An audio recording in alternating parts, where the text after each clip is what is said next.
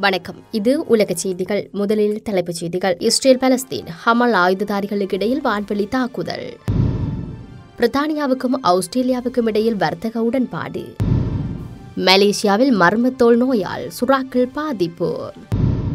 காசா பகுதியில் உள்ள கமாஸ் ஆயுததாரிகளின் இலக்குகளுக்கு எதிராக வான்வெளி தாக்குதல் நடத்தியுள்ளதாக இஸ்ரேல் அறிவித்துள்ளது. காசாவிலிருந்து தீப்பிழம்புகளுடனான பலூன்கள் இஸ்ரேலுக்கு நேற்று அனுப்பப்பட்டதை அடுத்து இந்த தாக்குதல் நடத்தப்பட்டுள்ளதாக இஸ்ரேல் அறிவித்துள்ளது. இஸ்ரேலுக்கும் பலஸ்தீன் ஹமால் ஆயுததாரிகளுக்கும் இடையில் பதினோரு நாட்களாக இடம்பெற்ற மோதல் கடந்த மே மாதம் இருபத்தி ஓராம் தேதி போர் நிறுத்தத்துடன் முடிவுக்கு கொண்டுவரப்பட்டது. இந்த நிலையில் இதுவரை நடத்தப்பட்ட தாக்குதல்களில் மிகப்பெரிய தாக்குதல் இதுவென தெரிவிக்கப்பட்டுள்ளது. இஸ்ரேலில் நேற்று நடத்தப்பட்ட வான்வெளி தாக்குதலினால் ஏற்பட்ட பாதிப்பு குறித்து இதுவரை தகவல்கள் தெரிய வரவில்லை என வெளிநாட்டு ஊடகங்கள் தெரிவிக்கின்றன. பிரித்தானியாவுக்கும் ஆஸ்திரேலியாவுக்கும் இடையில் வர்த்தக உடன்பாடு எட்டப்பட்டுள்ளதாக தெரிவிக்கப்பட்டுள்ளது. பிரித்தானிய பிரதமர் போரிஸ் ஜான்சனுக்கும் ஆஸ்திரேலிய பிரதமர் ஸ்காட் மொரிசனுக்கும் இடையிலான சந்திப்பில் இதற்கான இணக்கம் எட்டப்பட்டுள்ளதாக வெளிநாட்டு ஊடகம் செய்தி வெளியிட்டுள்ளது. இது தொடர்பான அதிகாரப்பூர்வ அறிவிப்பு விரைவில் வெளியிடப்படும் என தெரிவிக்கப்பட்டுள்ளது. ஐரோப்பிய ஒன்றியத்திலிருந்து பிரித்தானியா வெளியேறியதன் பின்னர் மேற்கொள்ளப்படும் முதலாவது வர்த்தக உடன்பாடு இது என்றும் தெரிவிக்கப்பட்டுள்ளது.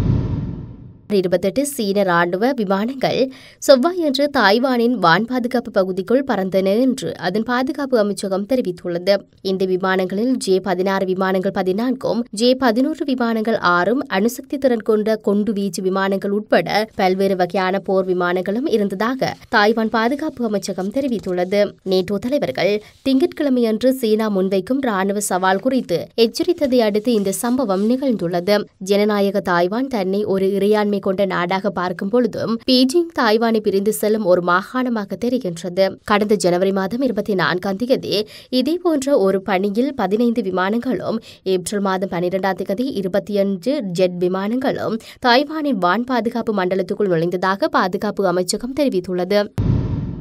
மலேசியாவில் உள்ள ட்ரீபின சுறாக்கள் மர்ம தோல் நோயால் பாதிக்கப்பட்டுள்ளதாக கடல் உயிரியவியலாளர்கள் தெரிவித்துள்ளனர். சிபாடன் கடற்பகுதியில் வாழும் சுறாக்களின் தலையில் புள்ளி புள்ளியாக புண்கள் ஏற்பட்டிருப்பது ஆழ்கடல் நீச்சல் வீரர்கள் எடுத்த புகைப்படங்கள் மூலம் தெரியவந்துள்ளது. சிபாடன் பாதுகாக்கப்பட்ட கடல் பகுதி என்பதனால் அங்கு மீன்பிடிக்க தடை விதிக்கப்பட்டுள்ளது. இதனால் அங்கு மனிதர்களால் சுறாக்களுக்கு எவ்வித பாதிப்பும் இல்லை. சிபாடனில் கடல் மேற்பரப்பு வெப்பநிலை மே மாதத்தில் இருபத்தி ஒன்பது புள்ளி ஐந்து டிகிரி செல்சியஸாக உயர்ந்துள்ளது. கடலின் வெப்பநிலை அதிகரித்ததே சுறாக்களின் மர்ம நோய்க்கு காரணமாக இருக்கலாம் என கடல் உயிரியலாளர்கள் கூறுகின்றார்கள்.